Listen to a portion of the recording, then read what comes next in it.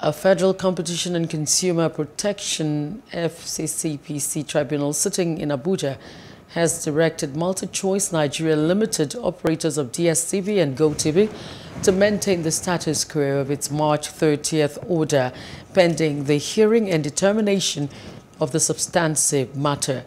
The three-member tribunal headed by Thomas Okosun gave the order following an oral application for adjournment moved by counsel for the firm, Jamiu Aguru, to enable him respond to the counter affidavit and written address, including the contempt charge filed against his client. The claimants, Festus Onifade, a legal practitioner, and Coalition of Nigeria Consumers, on behalf of himself and others, had sued the company and federal company Competition and Consumer Protection Commission, FCCPC, as first and second respondents. Hello. Hope you enjoyed the news. Please do subscribe to our YouTube channel and don't forget to hit the notification button so you get notified about fresh news updates.